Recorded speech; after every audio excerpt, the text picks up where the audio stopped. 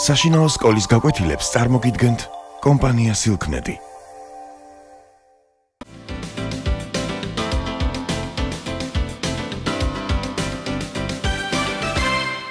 მოგესალმებით. ჩვენი გაკვეთილის თემა არის ადამიანის გენეტიკის მეთოდების შესწავლა. მოგეხსენებათ, ადამიანის გენეტიკურ შესწავლას დიდი პრაქტიკული და თეორიული მნიშვნელობა გააჩნია. ადამიანის გენეტიკის განვითარებამ გამოავლინა სხვადასხვა დაავადებები, მემკვიდრული დაავადებანი. ცხოველებსა და მცენარეების კანონზომიერებანი, გენეტიკური კანონზომიერებანი ადამიანზეც ვრცელდება, მაგრამ ადამიანის გენეტიკური შესწავლა საკმაოდ რთული არის.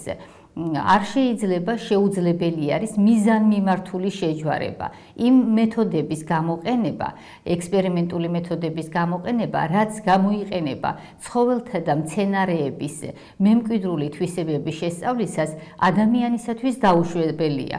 მაგალითად ექსპერიმენტული ჰიბრიდოლოგიური მეთოდების გამოყენება. ასევე დაუშვებელი არის ექსპერიმენტულად მუტაციების ინდუცირება. გარდა ამისა, ადამიანის მემკვიდრული დაავადებების შესწავლას და ადამიანის გენეტიკას ართულებს რიგი ფაქტორები. ეს გახლავთ ის, რომ ადამიანი შედარებით გვიან აღწევს სქესობრივ სიმწიფეს, ასევე თაობათა მონაცვლეობა ხანგრძლივი არის და გარდა ამისა, შთამომავლობა ცირერიცხოვანი არის. ოჯახი ორ ან რამდენიმე ბავშვს შეიცავს.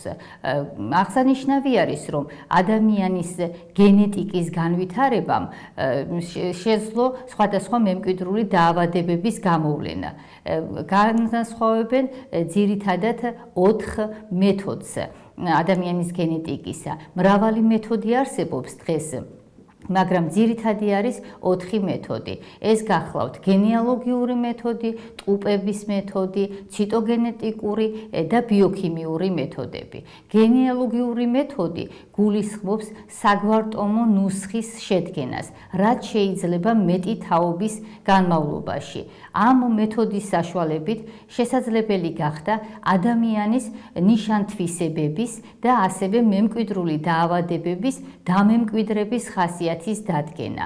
ცნობილია, რომ სხვადასხვა ნიშანთვისება ადამიანისა გადაეცემა მემკვიდრეობით, შთამომავლობით გადაეცემა და ამ შემთხვევაში განსაკუთრებით გენოტიპური თვალსაზრისით გენოტიპურად განსხვავებული ინდივიდების გამოვლენა გამპირობებული არის სოციალური გარემოთი.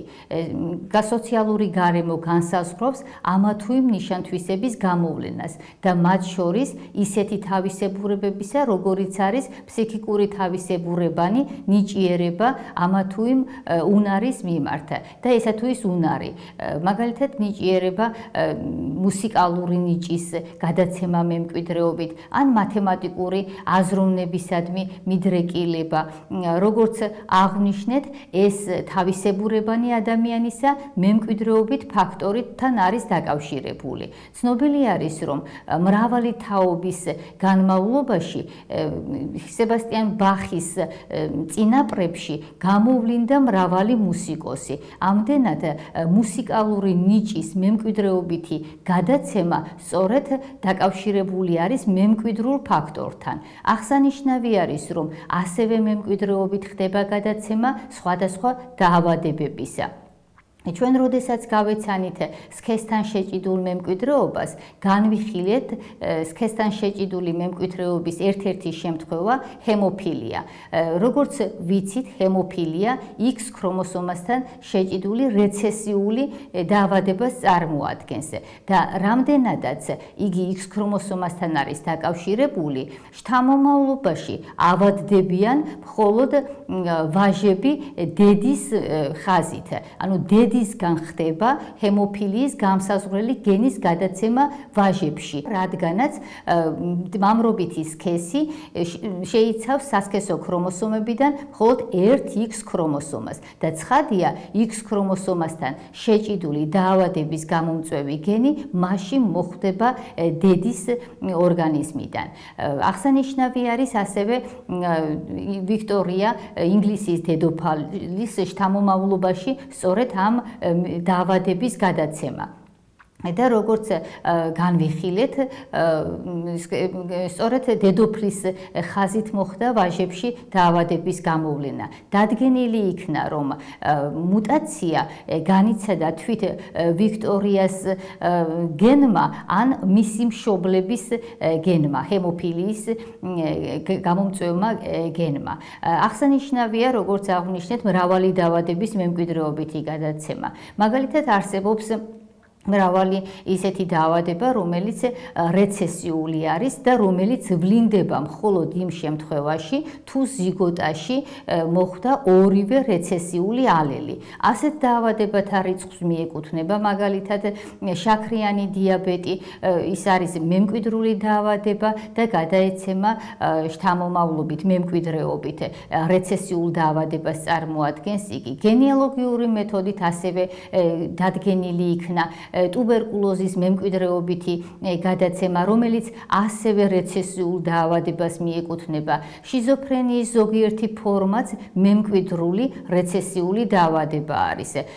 არსებობს ასევე დომინანტური გენით გამოწვეული მემკვიდრული დაავადებანი, რომლის მაგალითსაც წარმოადგენს რქოვანას დეგენერაცია, რაც იწევს სიბრმავეს, მემკვიდრულ სიბრმავეს. ამდენად გენეალოგიური მეთოდით მოხდა განსაზღვრა თუ როგორი დამემკვიდრების ხასიათი აქვს ადამიანის ამა თუ იმ ნიშან-თვისებას და ამა თუ იმ დაავადებას. გარდა აღნიშნული მეთოდისა, ადამიანის გენეტიკური შესწავლისათვის გამოიყენება უძველესი მეთოდი ტყუპების მეთოდი. ეს გულისხმობს ტყუპების ნიშან-თვისებათა შესწავლას. მოგეხსენებათ, არსებობს ტყუპების ორგვარი კატეგორია.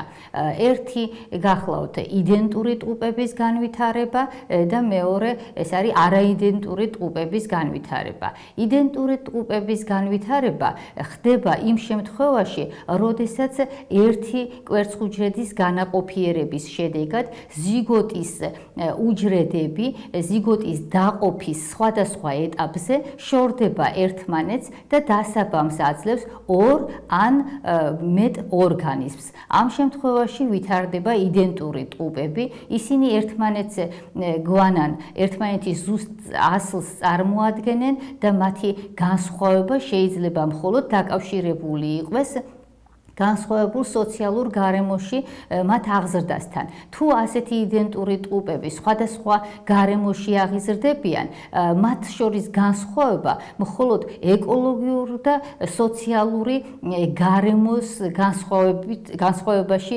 ვლინდება. არაიდენტური ტყუპები კი ვითარდება იმ შემთხვევაში, როდესაც ხდება ორი ან მეტი კვერცხუჯრედის ერთდროული მომწიფება და ამ შემთხვევაში მათგან განვითარებული ტყუპები ერთმანეთს ისე გვანან, როგორც ჩვეულებრივ დაძვანი. ყოველწლიურად იბადება 1000-მდე დაბადებულ ახალშობილს შორის არის 10 ტყუპი და მათგან 25% სწორედ იდენტურ ტყუპებზე მოდის. ტყუპების მეთოდი საშუალებას იძლევა ფენოტიპური ცვლილებების შესწავლისა. მეტად მნიშვნელოვანი არის ადამიანის გენეტიკურ შესწავლაში ციტოგენეტიკური მეთოდების გამოყენება. გამოიყენება. ციტოგენეტიკური მეთოდი საშუალებას იძლევა დადგინდეს მემკვიდრული დაავადებების გამომწვევი მიზეზები. ამ დროს მიკროსკოპის საშუალებით აკვირდებიან ქრომოსომის მორფოლოგიას, მათ ფორმას, ზომას, სტრუქტურის ცვლილებას, ქრომოსომთა რაოდენობრივ ცვლილებას. ამ შემთხვევაში საკულევ ობიექტს წარმოადგენს ადამიანის სხვადასხვა ქსოვილის უჯრედები. ეს არის პერიფერიული სისხლის ლიმფოციტები, ან შეიძლება იყოს ემბრიონის უჯრედები, სიმსივნის უჯრედები, ძვლის ტვინის უჯრედები. უჯრედებს ათავსებენ სპეციალურ საკვებარეში და კულტივირება ხდება 37 გრადუს ტემპერატურაზე. ამის შემდგომ ახდენენ პრეპარატის დამზადებას, პრეპარატს ღებავენ სპეციალური საღებავებით და ახდენენ მიკროსკოპირებას. მიკროსკოპის საშუალებით შესაძლებელია, როგორც აღნიშნეთ, ქრომოსომის სტრუქტურის შესწავლა. ქრომოსომის სტრუქტურის შესწავლა ყველაზე კარგად შესაძლებელი არის მიტოზის მეტ მეტაფაზაში. ამ დროს ქრომოსომები აღწევენ მაქსიმალურ სპირალიზაციას და ხილული ხდება ის ცვლილებები, რაც ქრომოსომის მორფოლოგიასთან არის დაკავშირებული. და შესაძლებელი არის სწორედ ციტოგენეტიკური მეთოდებით განისაზღვროს რისკის ჯგუფი. მოგეხსენებათ, მუტაციები უმეტეს შემთხვევაში რეცესიული არის თავისი ხასიათის მიხედვით და ასეთი მუტაციების გამოვლინება მოხდება მხოლოდ იმ შემთხვევაში, შემთხვევაში თუ ორივე რეცესიული ალელი აღმოჩნდება ზიგოტაში. ჰეტეროზიგოტულ ორგანიზმებს ჰეტეროზიგოტულ მშობლებში არ ვლინდება მუტაცია. ამიტომ ციტოგენეტიკური მეთოდების საშუალებით შეიძლება სწორედ გამოვლინდეს ასეთი რისკ ჯგუფის მშობლები. ციტოგენეტიკური მეთოდებით შესაძლებელი არის ასევე დადგინდეს კარიოტიპი, ორგანიზმის კარიოტიპი. მოგეხსენებათ, როგორც ადრე განვიხილეთ, კარიოტიპი არის სახეობისათვის დამახასიათებელი ქრომოსომთა თვისობრივი ფასობრივი და რაოდენობრივი ერთობლიობა. თუ მოხდა ქრომოსომთა რაოდენობის ცვლილება, ეს ხადია უკავშირდება რიგ მემკვიდრულ დაავადებებს. ამის მაგალითს წარმოადგენს დაუნის სინდრომი, რაც სწორედ ქრომოსომების რაოდენობის ცვლილებასთან არის დაკავშირებული.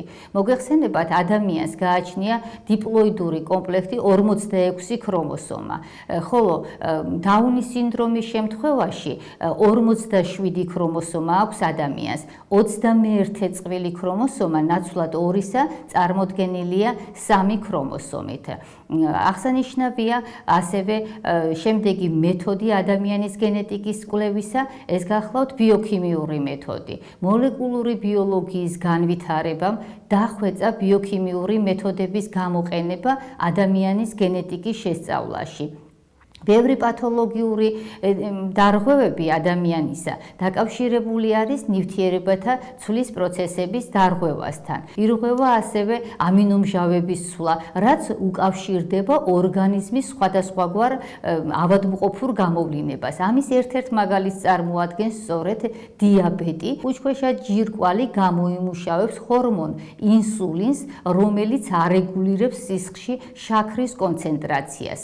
ინსულინის არასაკმარისი რაოდენობით წარმოქმნის შემთხვევაში ან მისი არარსებობის შემთხვევაში ხდება შაქრის კონცენტრაციის მომატება სისხლში და ვითარდება დაავადება შაქრიანი დიაბეტი, რაც სწორედ ბიოქიმიური მეთოდებით შეიძლება იქნეს გამოვლენილი.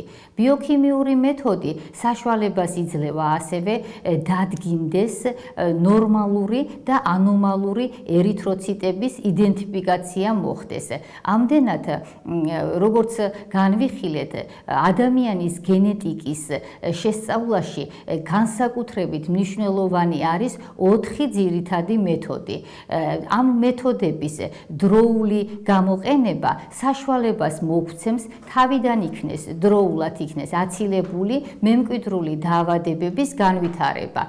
სწორედ ადამიანის გენეტიკის განვითარებამ მისცა საშუალება ადამიანს გამოევლინა და წარმატებით მომხდარიყო მკურნალობა მემკვიდრული დაავადებებისა და მათი პროფილაქტიკისა.